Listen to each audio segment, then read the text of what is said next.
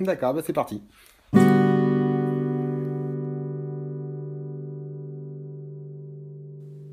Bruno Chaplot, bonjour.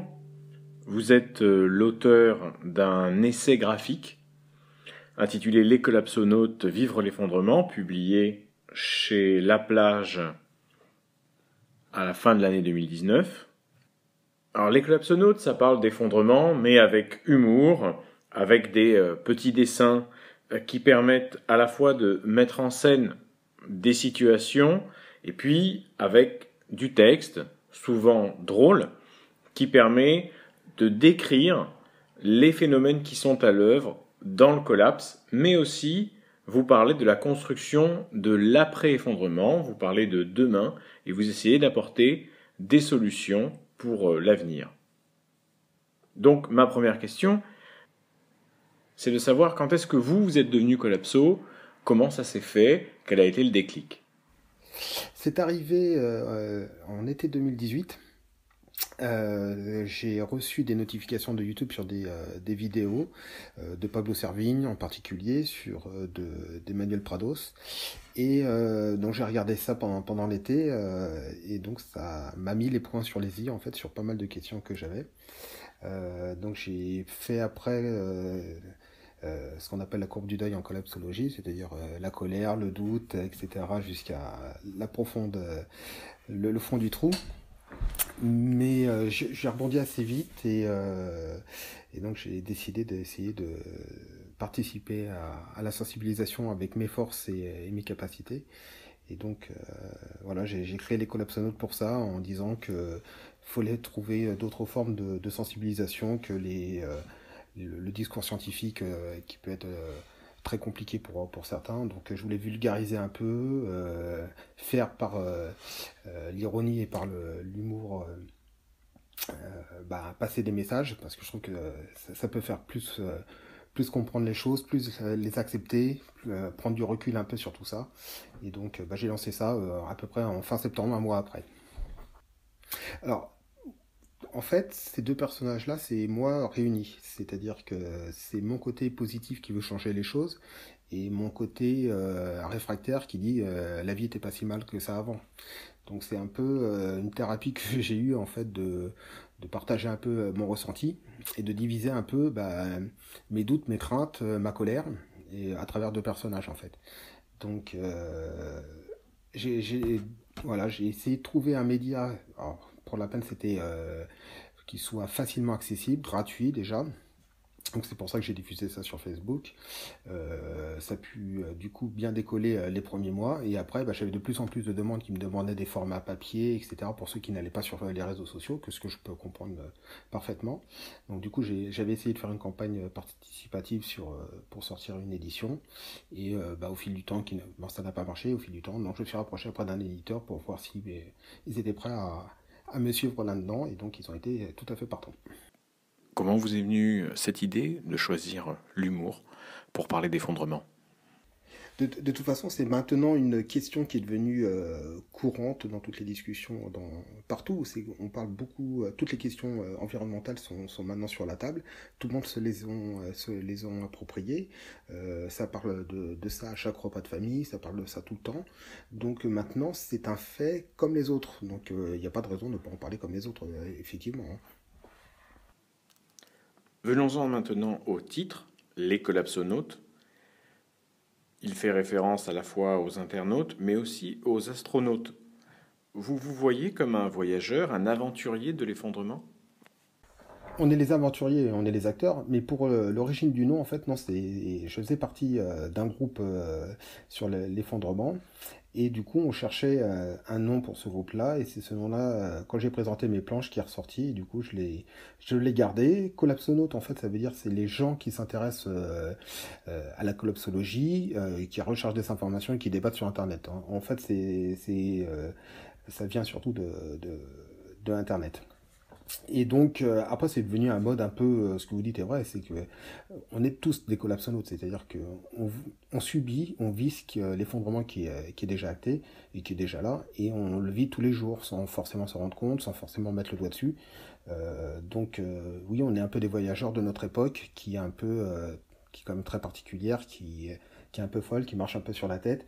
Et des fois on se rend compte, des fois on se dit mais c'est fou, c'est fou. Des fois on, passe à travers, on est fatigué de notre quotidien. Et on vit comme ça une époque un peu très, très particulière, très, très historique, sans vraiment en être conscient.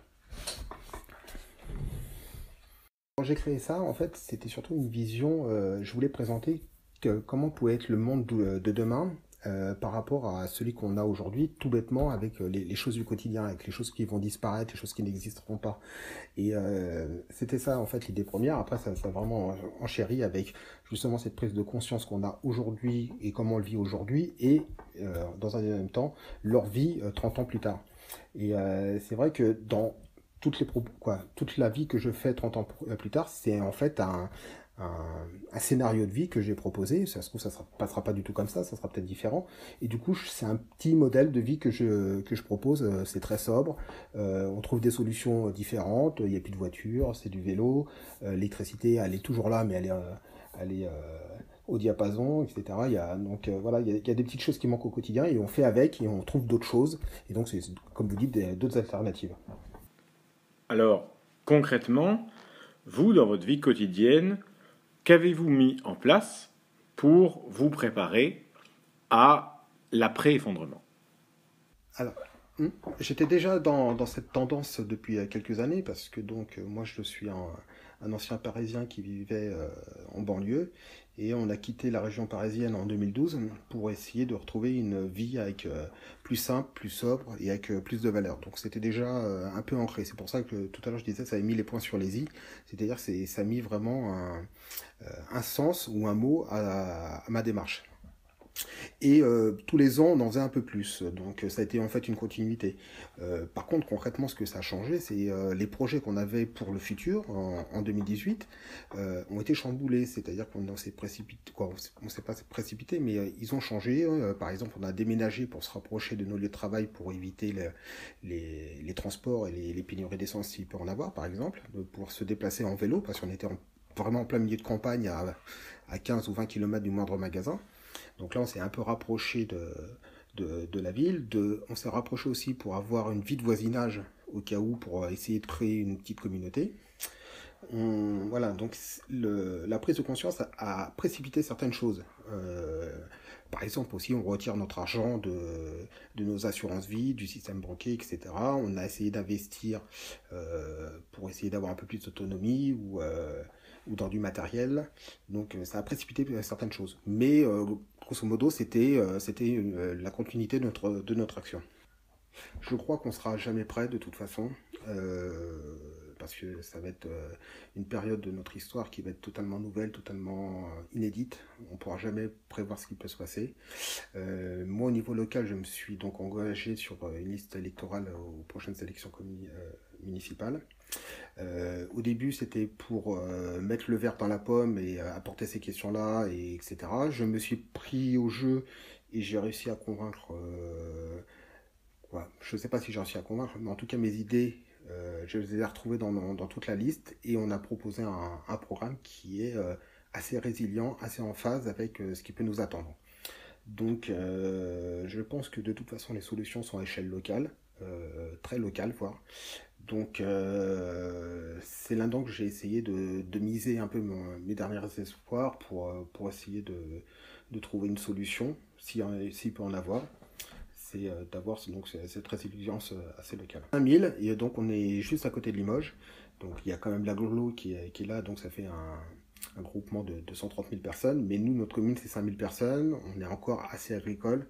Donc euh, on essaye de relier ça, on va essayer de faire des jardins partagés par exemple, des vergers euh, communaux, on va essayer de végétaliser à, mort, faire euh, la gestion des risques, parce que c'est ça qui me fait un peu peur aussi, c'est que beaucoup de communes ne gèrent pas les risques, et surtout les risques qui vont venir.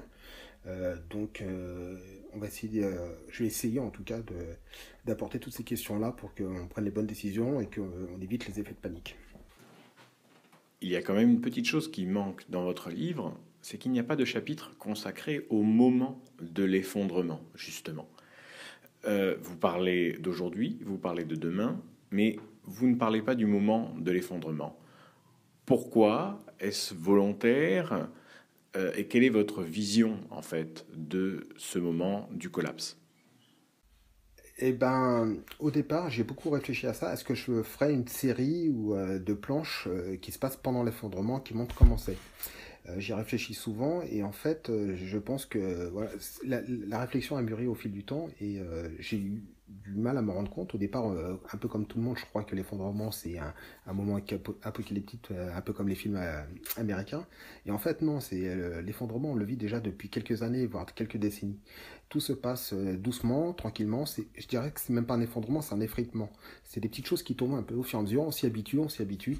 Et je pense que Pablo Servigne lui dit que c'est l'effet élastique, au bout d'un moment ça va craquer. Est-ce qu'on le vit actuellement aujourd'hui?